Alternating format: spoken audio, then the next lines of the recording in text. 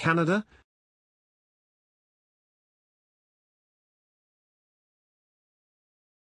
Canada is a country in North America.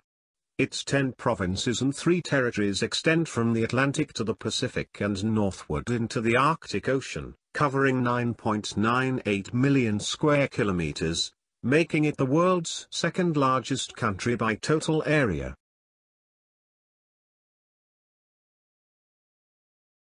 Capital, Ottawa.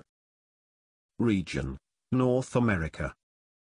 Population, 38,005,000 The largest nation in the Western Hemisphere is quite sparsely populated. Canada's urban centres are mainly in the southern part of the country,